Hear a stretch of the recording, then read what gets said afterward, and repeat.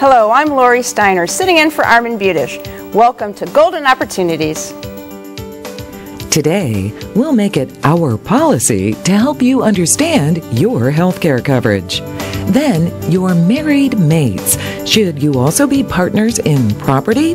We'll offer advice. We'll examine important information about annual OB/GYN exams. Plus, we'll introduce you to Charles Ramsey, the man who opened the door to freedom for three women held captive for a decade. And has your widowed or divorced partner been targeted by a gold digger? It's time to get GOing, so pull up a chair and join us at our kitchen table for Golden Opportunities.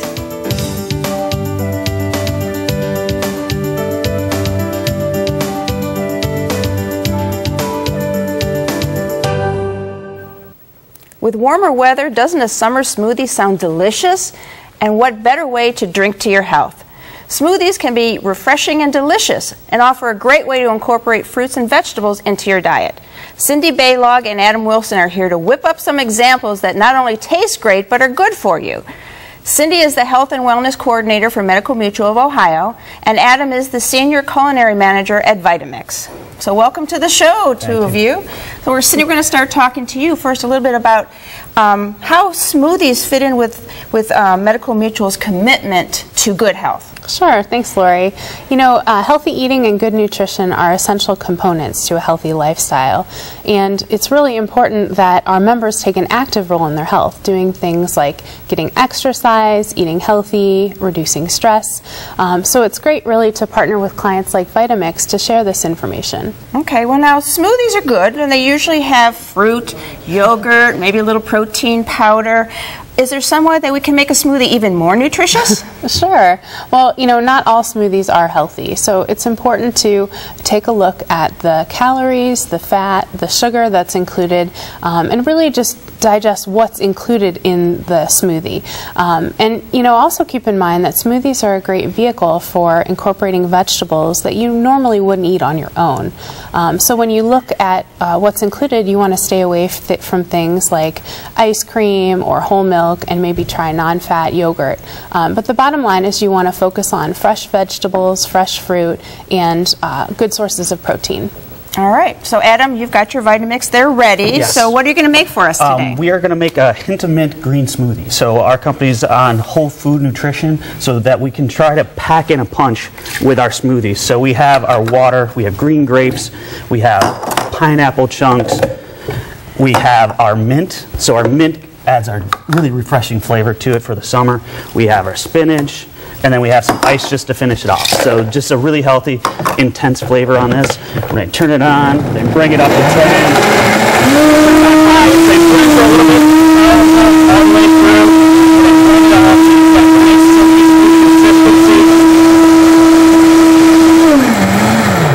the to turn this off. And so we have a really nice, refreshing drink for us in the morning, afternoon, dinner time. So now I'll pour some. it's one of those green drinks. Yes. Um, our company's been around for 92 years, so we've been trying to push our, our message of this healthy drinks and healthy food and flavor for It's actually pretty good, yeah. Oh, definitely is. That's what we're here for. Healthy doesn't always mean I like the good. It- mint. it's oh, that's really true, yeah. and good. So and that's a mindset I have to change even. yes, taste So- is all about everything. So. So what are some of the other options for healthy smoothies? So we like mixing and matching. So on a green smoothie, you find a smoothie that you like, and then you can mix and match with it. So the proportions of water and liquid to the solids are good. So you can mix kale, which is a very dense, um, really caloric and really um, high in nutrients. Um, ingredient that you can add instead of spinach so you can get more nutrients packed in there so those types of things of learning mix different fruits take your favorite things that you like you know and then blend it up and try those and mix and match find your find your your smoothie of choice and then you can go with it daily or you know mix it in two three times a day we love people using our vitamixes daily of course.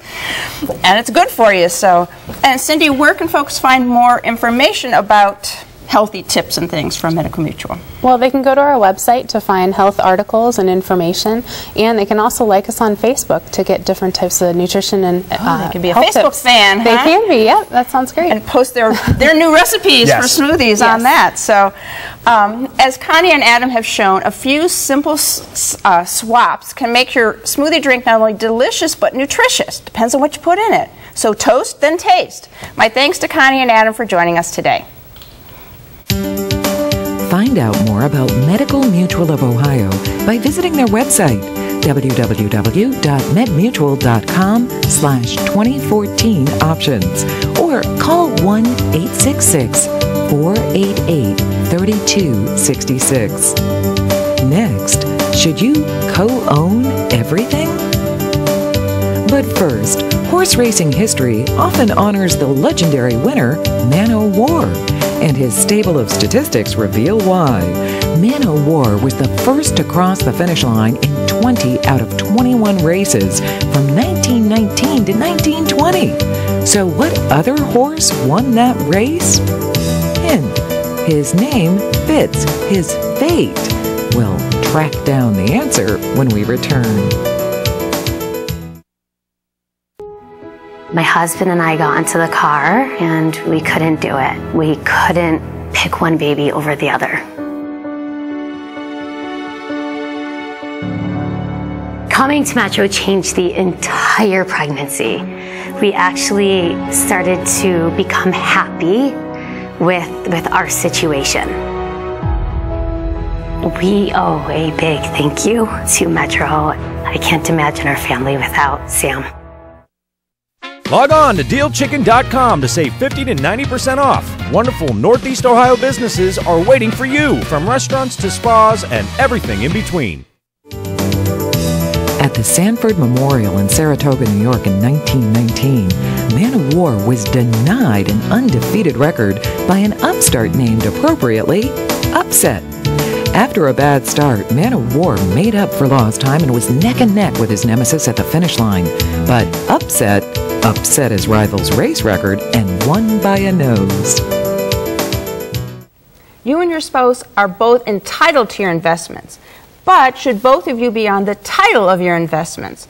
The wrong answer could be costly in term of taxes, terms of taxes. Here to spell out the option of a TOD is JIM. Jim Lineweaver, a certified financial planner with the Lineweaver Financial Group. So welcome again to the show. Thanks for having me.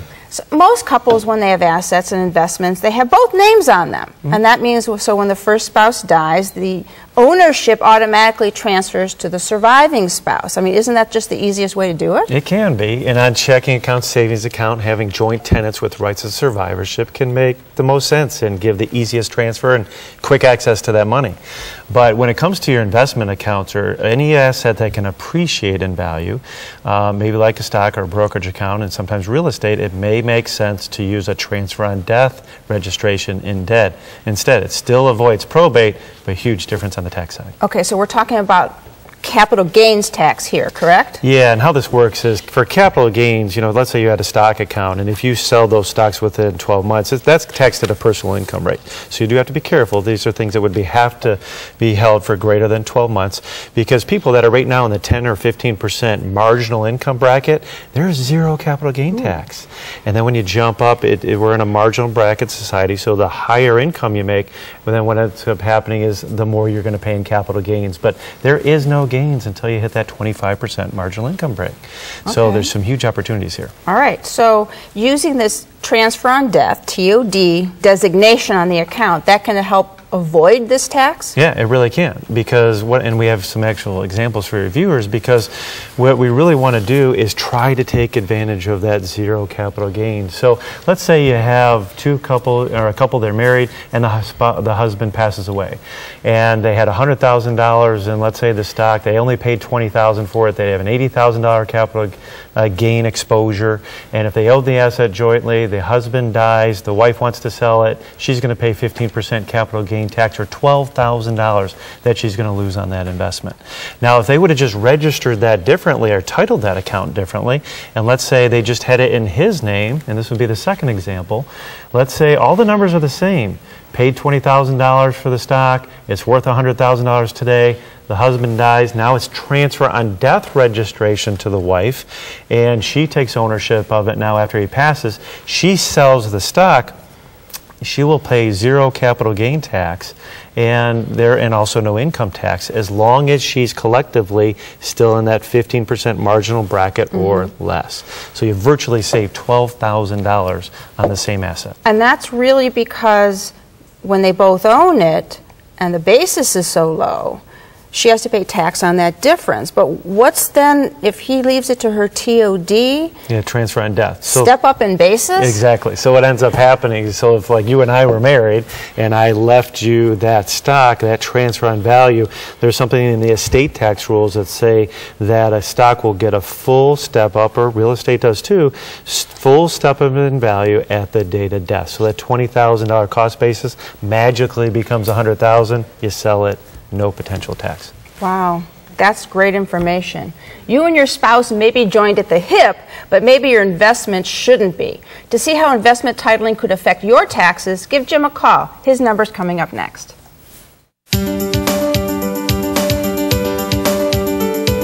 For more information, call the Lineweaver Financial Group at 1 888 313 4009 or click to www.lineweaver.net. Next, pap tests and more. Looking for places to go, things to do? Welcome to our community calendar. For a change of pace, skip the walk in the park and take a walk in the art. Every third Friday of the month, 78th Street Studios throws open its doors for an art filled open house complete with munchies and music. Enjoy eclectic architecture, dynamic displays, and funky furniture. To draw out more details, dial 216 272 4745 or delve into www.78thstreetstudios.com. For women, there's an annual appointment that they may want to avoid, but it's extremely important for evaluating their womanly well being. Dr. William Todia is here with the checklist for that vital checkup. Dr. Todia is the vice chairman of the Department of Obstetrics and Gynecology at MetroHealth. So, welcome to the show. Thank you, Lori. So, of course, we're talking about the yearly OBGYN appointment uh, that many women don't want to go to, but what's right. involved in that exam? So the exam involves, from, from our focus, from a gynecologic focus, a full breast exam and a pelvic exam, which is an examination of the, the, the vaginal tissues, the cervix, the uterus, and the ovaries. Okay. And then in addition, we're, we do less exam, but of the abdomen and, and other areas of concern. Okay. Um, now, is a pap smear always a part of the annual exam? It's not um, anymore. For many years, it was kind of synonymous with the annual GYN checkup. But what we've learned over the last 10 to 20 years is that um, thankfully cervical cancer decreases with age. And so we've been able to um, decrease the frequency of PAP tests. Um, and we've also learned a lot about that HPV, which is a virus, is, is the primary driver and cause of cervical abnormalities in cervical cancer, and so we've been able to incorporate that testing with PAP tests oh. in order to then decrease how often it has to be done. So one good thing about growing older, less testing right. for that. That's now, right. when a Pap smear is performed, what's involved exactly in that procedure?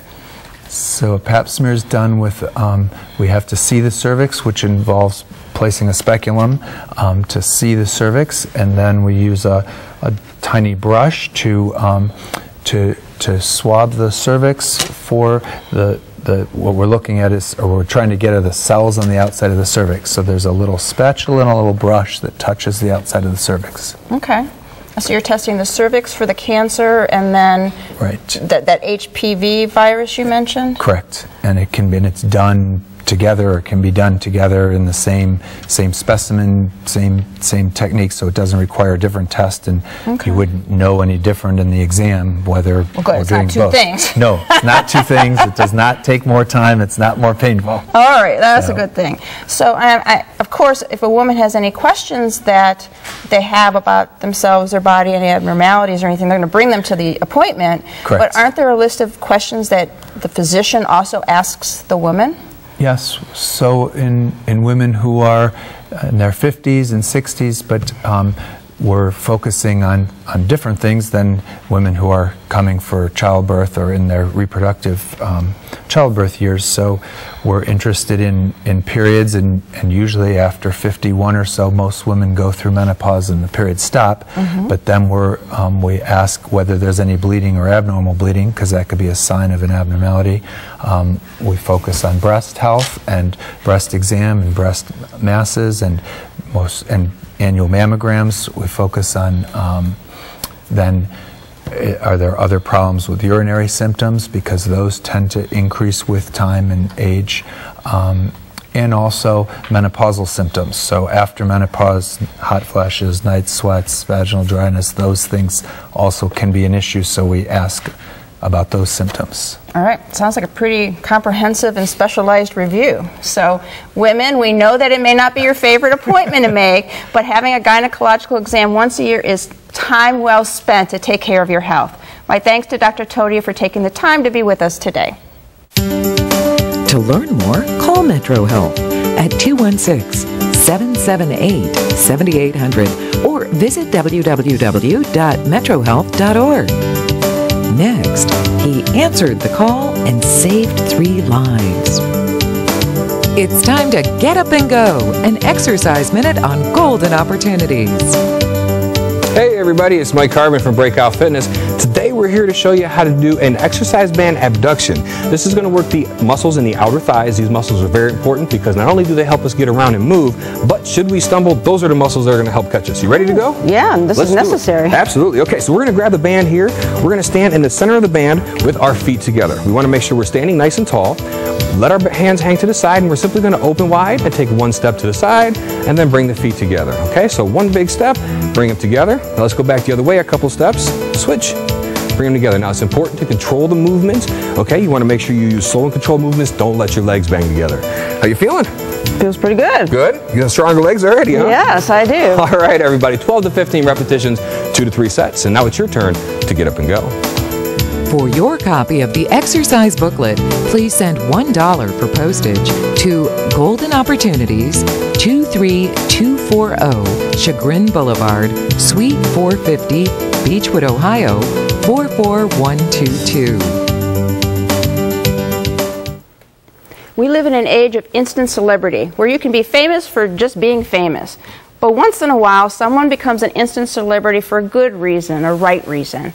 That's what happened to Charles Ramsey when he kicked in Ariel Castro's front door and led three kidnapped women to freedom. Charles has detailed the story behind the headlines in the book Dead Giveaway, and we're happy to have him join us here today. Thanks for Laura. coming on the show. My pleasure. Well, it's been over a year since Amanda Berry and Gina DeJesus and Michelle Knight were rescued. Is your life any different now than it was before that happened? Uh, yes and no. No, because it's uh, my life and I haven't. I don't let things get to me. But yes, because now my face is known all over the place. So that gives you a chance to kind of. Well, you, you don't want the celebrity, from what I understand, really. There's nothing you can do about it. There's nothing about a want. It is what it is. Yeah, that's true. So you don't consider yourself a star, but do you consider yourself a hero? No, I'm a man with testicles that did what he had to do. Just had to do. I mean, it was just what anybody would have done. Is that how you kind of feel about I it? I met some spineless men in my life. So only what I would have done. So, how, what do you consider yourself? A dude that what he had to do. American citizen? I pay was just- taxes, sure. Didn't join the Taliban no time soon. Not thinking about it, so yeah. So I, I think it, it was one of your quotes or something that God put you in the wrong place at the right time. That's mm-hmm. kind of how you feel about it. Oh yeah. So you've had a lot of interviews, I know, And in your book, you describe Ariel Castro as just a regular guy, just everyday normal person who lived next door. Right. So um, you, there really was no way to tell what was going on, was there? And I kicked myself in the butt every day since then. Like, how could you not see something? Yeah. You Well, talk to this dude, and you don't see nothing. And then you got to think, oh wait, I was there a year, and th- there were people that been there decades, and they ain't seen nothing either. Mm-hmm. So do the math. So how was he in the neighborhood? He was a uh, neighbor. You need some money, give it to you. You need your kids to watch you, watch them. Uh, he help out. If he cooked, he offer you some food. Obviously, we found out later that that wasn't even his cooking. Oh, really? So, were there anything when you look back at it that you say, man, I should have noticed these were kind of not. weird things? Nothing? Wow. That makes Frivolous thinking won't get you nowhere, so let's not do that. so, don't even go there. right. Um, now, you wrote about the rescue in your book, but you also wrote about how you ended up on that street in that house um, at that time. So, you really didn't sugarcoat your background. You really kind of laid it out as it was. Why did you decide to kind of let that darker side of your life out? Because this is my way of having fun with critics. Really? See, if you, if, if you speculate, well, you don't get nowhere. You just speculate. You know what I mean? Come on now. This is the real world, right? Mm-hmm. So my book is a reality because it's real. So now when people read it, if you're not illiterate and with comprehension, you'd be like, oh, well, there's nothing much we can say now because he exposed everything. Mm-hmm. Darn him. Yeah, that's true. So, from writing the book, I mean, I, you, you let out a lot of information about your past and and abusive relationships and stuff, and I think trying to help people really kind of get through something like that. Oh, yeah. Um, You any learn words of lesson. wisdom? uh,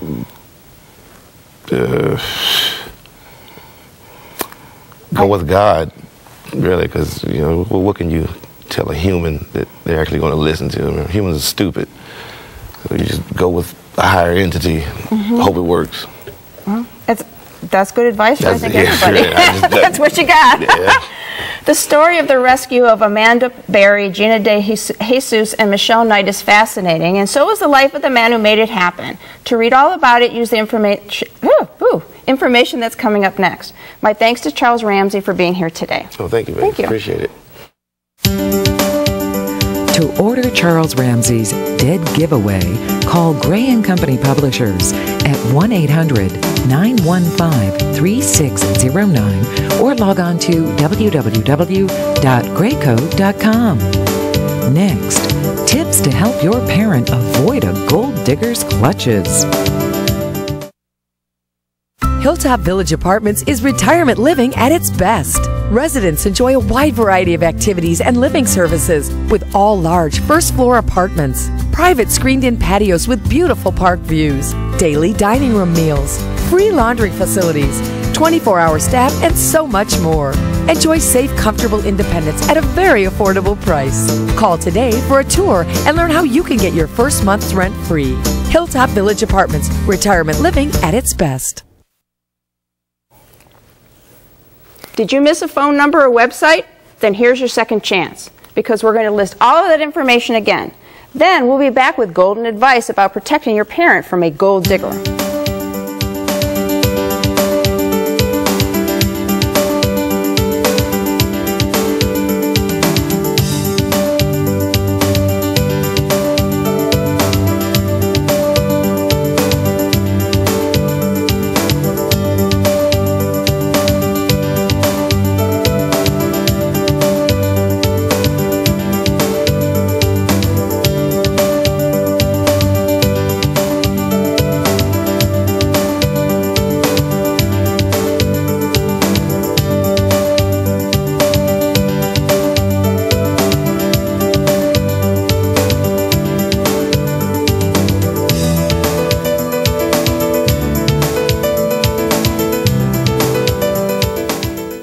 Does this situation sound familiar?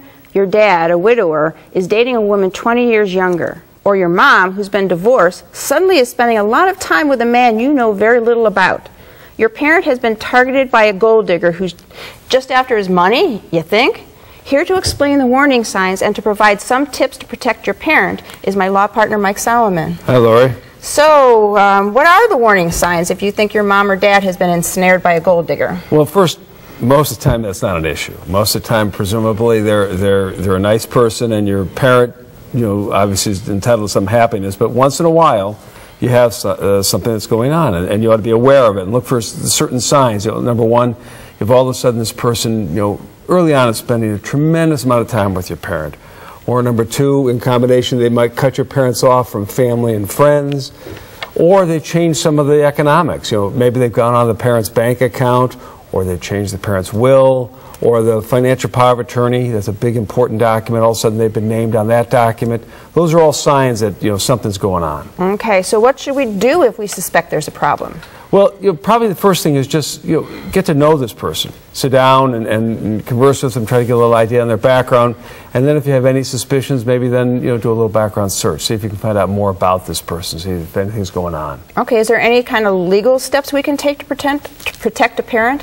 Well, you know, first of all, why don't you check to see uh, if the parent has made any changes to the documents? You know, if they, if all of a sudden the parent has changed the will or the power of attorney or the bank accounts, those sort of things that I talked about.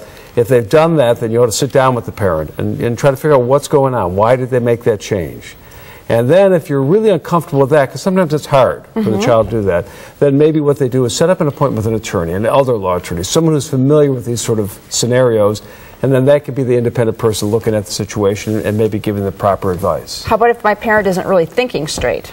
Well, what you need to do then, if, if you really think your parent is, is uh, in, you know, not thinking straight, not as competent as they used to be or competent at all, that's a, you know, an open opportunity for someone to take advantage of it. Have them meet with a doctor. See if the doctor comes back with a, you know, with a evaluation. If they do come back and say the parent is no longer competent, then you might have to go seek a guardianship to protect the parent. Okay, wow. As your parent ages, stay in close contact. That's the best protection from a gold digger. But if a new friend appears on the scene and you suspect evil intentions, follow Mike's advice. And if you have any questions, give Mike a call. Call Budish, Solomon, Steiner, and Peck at 1 888 236 5173 for more information or to schedule a speaker for your organization. Or log on to www.bssplaw.com.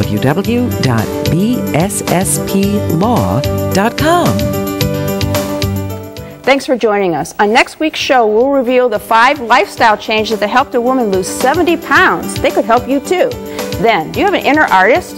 We'll show you the conclusion that creativity can enhance aging. Plus, we'll tell you the top tips for terrific looking teeth. Until then, please remember to make the most of your golden opportunities. Would you like to join our kitchen conversation? All you have to do is call toll free 1 877 765 1543 and leave us your question, name, and phone number. Or log on to www.golden.tv for all the latest information and show updates.